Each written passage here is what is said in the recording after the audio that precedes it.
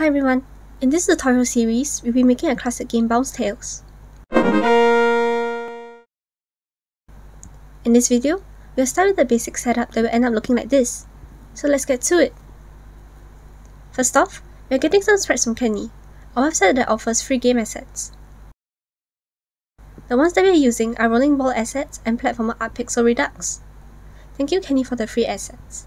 And also, if anyone wants to support the website too, you can donate here on this page. Once you have downloaded and unzipped the files, create a folder in Unity called Sprites and drop the sprite sheets into it. As each of them contains multiple sprites, change the sprite mode to multiple and the filter mode to point no filter. Also, change this to 21. Save the changes and do the same for the rolling ball sprite sheet. Except that this is 50. Now, to unpack the sprite sheet.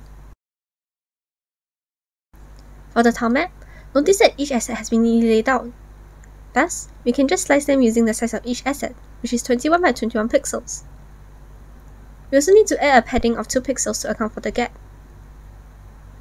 Now that that is done, we can drag and drop these assets into the scene to create the environment. But we're not going to do that. Instead, we're going to use TileMap, a versatile tool for environment creation in Unity 2D.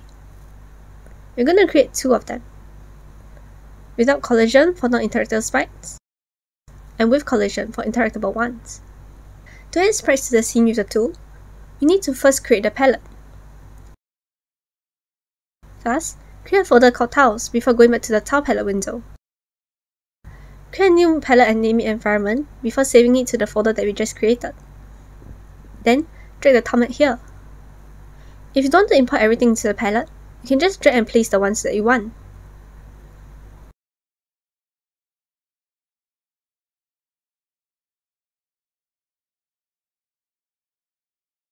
We can now use the draw tool to quickly draw out the environment.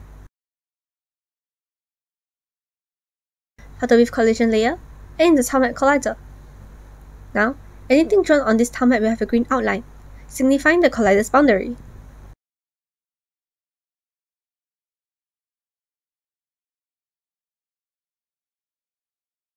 To draw multiple tiles at once, highlight the one that you want on the palette and you should see a white outline of those that are selected.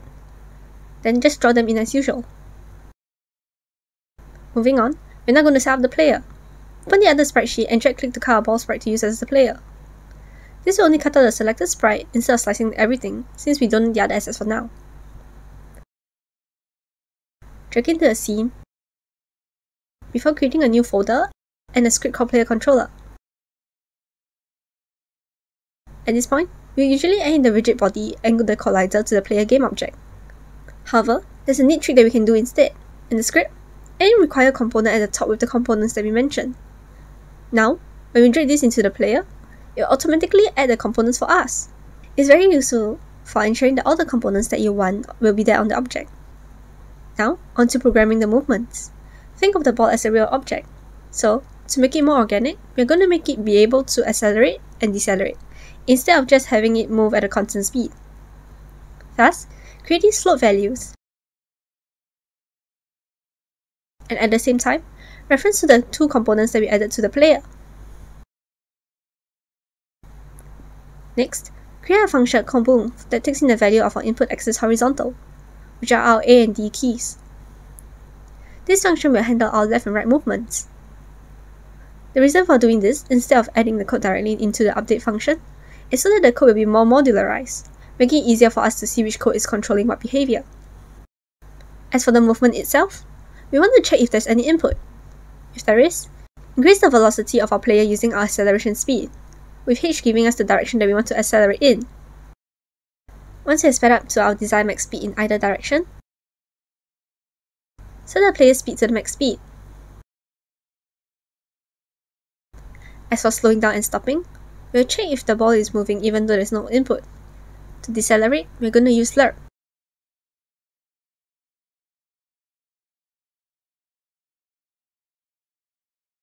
We choose a middle value between our current velocity and 0,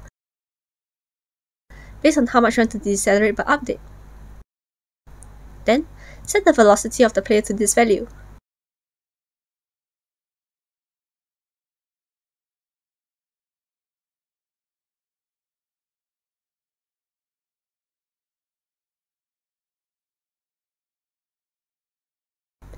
With that working, we're now going to animate the ball rolling.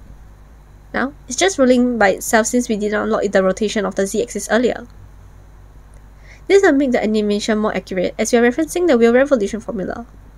However, as we need the angle instead of the revolution, we'll be using the displacement instead of speed, and multiply everything by 360 degrees. Thus, create a float for the circumference and calculate it in start.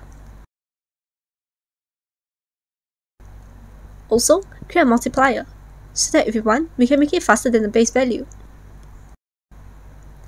Once again, create a function for the animation and call it an update. In it, we first need to grab the speed of the object, so that we can calculate the magnitude. Then, if the object is moving, use transform.rotate to rotate the ball. Use the angle formula that we talked about earlier in the position of the z-axis. We're also multiplying in Mathf.Sign as we need to get the direction of the ball to rotate in.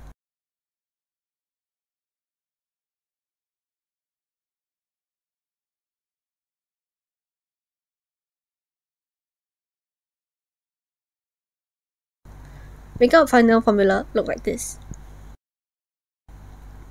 Let's test it again.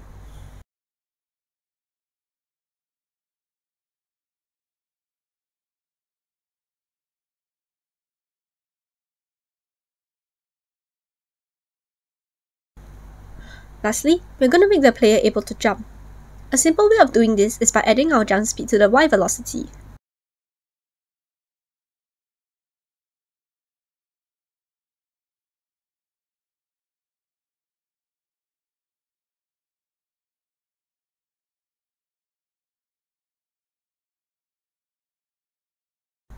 However, you'll quickly realize that the player can jump infinitely this way, which is not what we want. The first thing to do is to set the interactable ground on another layer, which we will call ground. Rename the tile map too. Furthermore, in Bounce Tales, there are a lot of slopes. And on them, you want them to jump vertically to the platform rather than vertically upwards. To fix these two issues, back in the script, we're only going to allow the player to jump if they're touching the ground layer.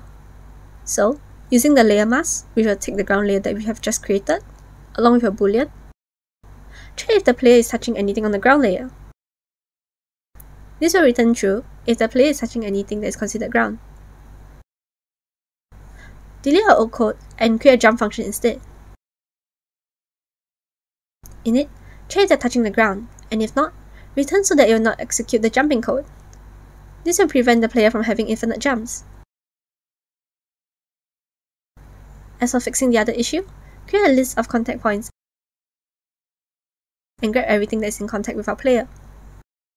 For now, we're just going to use the first three objects in the list that we are touching and get its normal, which is the perpendicular of the platform that we are standing on. By multiplying this value by our jump speed and adding it to the current velocity, will jump vertically off the platform. Let's take a look.